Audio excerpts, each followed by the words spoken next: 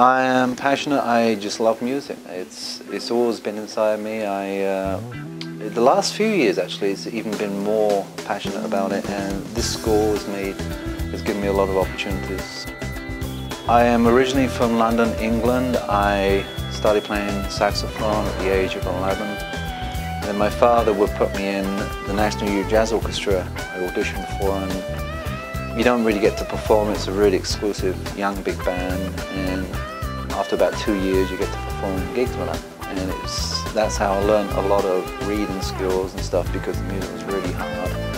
I used to come home like in tears because it was so difficult music. But after a while it was, you know, you, you learn from that.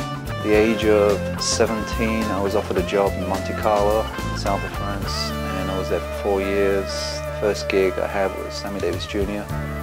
with a 21-piece orchestra, and then I uh,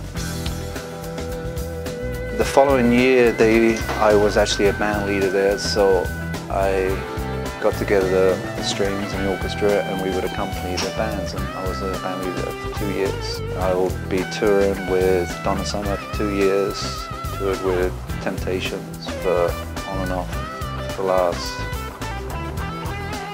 from maybe the 80s up until now. And I'm still working with them on and off Sands or in New York. And I, I was on Broadway, I was doing Cats on Broadway, and I do a lot of different shows and stuff. I'm the uh, program manager of the community music school. I basically put the ensembles together and, and try and start up new ensembles. I have a few ensembles here.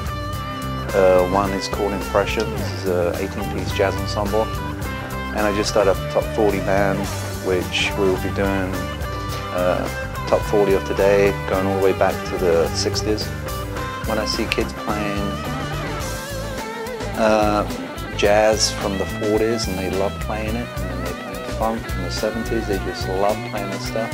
It's, it gives me joy to, to be doing music.